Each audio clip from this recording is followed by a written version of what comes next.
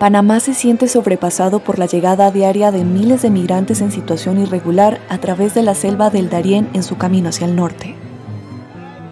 Después de haber atravesado durante varios días la selva, con sus colinas embarradas, ríos de repentinas crecidas y la amenaza de la picadura de serpientes o robos, los migrantes llegan al poblado indígena de Bajo Chiquito, donde las autoridades los registran. Les puedo decir que le pido perdón a Colombia le pido perdón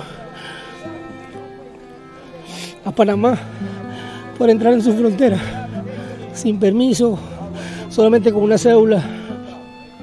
Igual todos los países que me quedan, igualmente le voy diciendo que me perdonen, que no era mi intención entrar así, pero no me queda otra opción. Ya tú sabes qué está pasando en Venezuela, y hay gente que no las cree, pero es la realidad. Si eso no estuviera mal, yo no estuviera aquí, yo estuviera allá.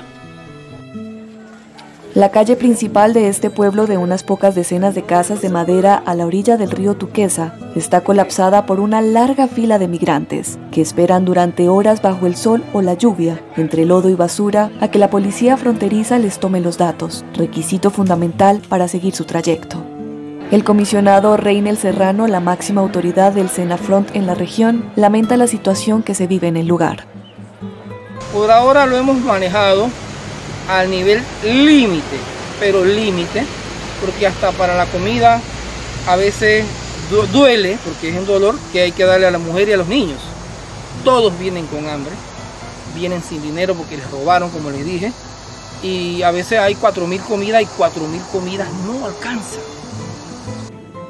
Cerca del río, un grupo de cinco hombres armados con machetes y escopetas robaron a un grupo de migrantes donde las víctimas aseguran que se llevaron alrededor de 15 mil a 20 mil dólares. El comisionado Serrano explica que muchos de esos delincuentes son gente de la zona, indígenas que conocen el lugar y que han optado por el crimen. Cuando los capturan, llevan decenas de celulares y grandes sumas de dinero.